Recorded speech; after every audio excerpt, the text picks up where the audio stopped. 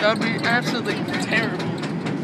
I Dad's actually taking the chance of dropping his iPhone.